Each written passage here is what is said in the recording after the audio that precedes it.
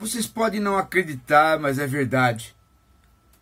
O MEC está formando uma comissão para passar o pente fino, como eles dizem, um pente fino ideológico para combater o viés ideológico no Enem. Eu não me lembro, mas Durante a ditadura militar, 64 a 85, havia censura. Mas não passou pela cabeça dos autoritários de plantão criarem uma comissão para fazer uma triagem ideológica contra ideologia de exames de vestibular. Nível federal. Isto é uma coisa, gente, da China, dita comunista, mas é capitalista, da antiga União Soviética, nem mesmo em Cuba, durante o período mais duro da ditadura militar, tinha uma comissão para checar questões se, se questões de vestibular tem ideologia, ideologia de gênero, expressão nunca usada por professor nenhum. E aí, meu amigo, é porta aberta para censura de historiadores a respeito da ditadura militar mesmo, a respeito de qualquer, bom, inclusive, inclusive, se for alguma questão relativa ao próprio presidente quando ele era deputado e falava um monte de abobrinha, vão ser censuradas. Porque isso que está se criando nada mais é do que um órgão de censura, de controle ideológico no âmbito de exame escolar. O exame que dá acesso para a universidade no Brasil vai ter controle ideológico a partir da cabeça de uma Olavete. Olavo de Carvalho é uma besta universal. Todo mundo ridiculariza o cara. Ele indica ministros. Ele é tão débil mental que ele, ele, não, ele não acredita que a Terra gira em torno do Sol. Ele lê um texto de Kant que fala do iluminismo e ele transforma isso em perseguição à religião.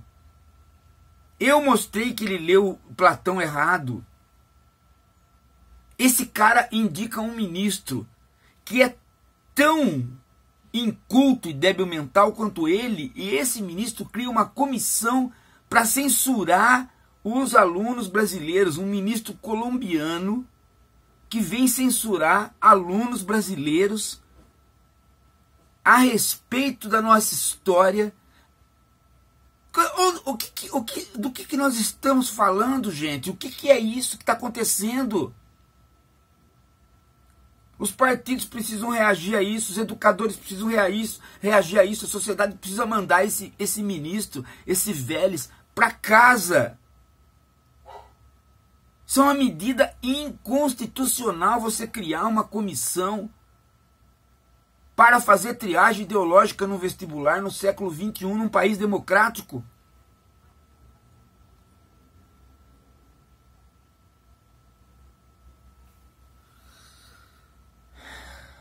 Isso acaba com o Enem, porque agora o aluno do Enem ele não sabe mais o que estudar. Ele não sabe se ele tem que se tornar um estudante ou se ele tem que se tornar um puxa-saco de autoritários. Porque agora o que ele fica boquiaberto, né? Ele vai estudar o quê? E se ele estudar o Caio Prado Júnior? Caio Prado Júnior é um clássico, um historiador fantástico. Base de tudo quanto é história de, e apostila de cursinho e livro, tudo. Mas sabe-se muito bem que o Caio Prado era comunista. Será que agora todo, tudo que se aprendeu até hoje, toda a literatura nossa, não, não vai prestar mais? O aluno vai ter que ficar adivinhando o que, que é que o fascista de plantão lá quer que ele saiba? Isso, isso acabou com o vestibular, isso acabou com o Enem, isso acabou com tudo. Isso é a destruição do ensino brasileiro. Se a transformação das pessoas em burro, toda vez que tem censura tem burrice. Quem que vai ser essa comissão? Quem que vai se prestar esse serviço de merda? Eu quero ver o nome de cada um. Porque eu vou trabalhar aqui no canal cada dia um desses energúmenos que toparem fazer parte de uma comissão desse tipo. E o que é ideologia de gênero? Agora a gente já não sabe mais, porque isso não existe, ideologia de gênero. Então, se ele vai proibir uma coisa que não existe, ele está dizendo que ele vai proibir qualquer coisa aleatoriamente.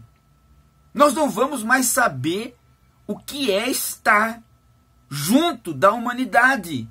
Porque aquilo que os nossos universitários devem saber não vai estar mais de acordo com aquilo que a humanidade deve saber. Porque uma cabeça de censores fascistas vai estar comandando o ensino.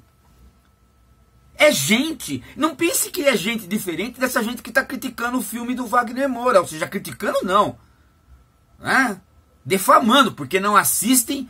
Porque, veja só, essa gente que está no poder não entende um filme. Como é que esse pessoal vai montar uma comissão para avaliar que questão e que não questão deve ser posta no Enem? É a barbárie total, gente. O ministro da Educação é um inculto. Ele é um troglodita. Ele é um cara que tem, cuja mentalidade faz com que qualquer um que deu o golpe 64 tenha vergonha, não tenha uma direita mais tacanha que essa que está no poder. Isso tem que parar, gente. Essa comissão não pode ser formada. Isso é inconstitucional. Nós temos que barrar isso. Gente, Sai para a rua conversando com todo mundo sobre isso, conversa com os professores, conversa com os, com os estudantes. Isso não pode acontecer. Isso é uma calamidade. Entenderam? Gente, dá like. Compartilha, divulga, traz gente. Não se esqueça de se inscrever no canal, gente. Se inscrever é importante, a inscrição de vocês é importante e acionar o sininho também. E para ajudar a profissionalizar o canal, tem o Apoie-se, tem o Torne-se Membro. Agora, mais do que nunca, é importante você apoiar e estar tá junto com a gente, porque veja só o tipo de coisa que está aparecendo no Brasil. E quem é que vai chamar os jornalistas? Quem é que vai chamar os educadores? São vocês mesmo através do canal. Não deixem esses caras tomarem o Brasil de nós. Não deixem. Senão daqui a pouco você não vai poder mais nem ir no cinema. Vão começar a criar uma comissão para saber se você vai ou não assistir um filme. Estão reduzindo a juventude brasileira a criancinhas. Você vai entrar na universidade e quem vai dizer para você o que você tem que fazer no exame não é, não são mais os clássicos, não é mais a cultura nacional, é um grupinho de mentalidade da Damares que vai dizer isso para você e você vai aceitar isso como jovem? Eu duvido que alguém, que algum jovem de direita que é inteligente possa aceitar isso.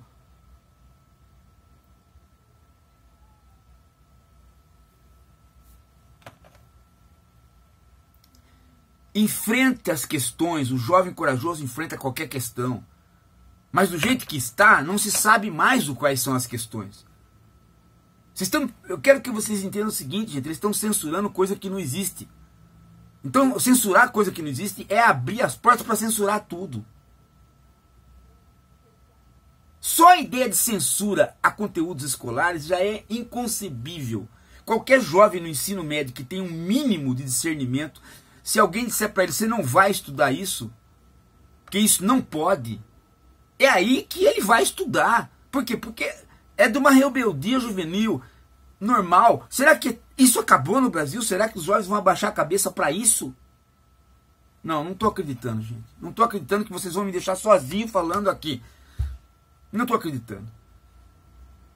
Eu tô acreditando mais que vocês vão pegar o instrumento do canal, vão trazer gente para cá e vão criar um movimento pra gente barrar isso. Esse ministro vagabundo não pode continuar.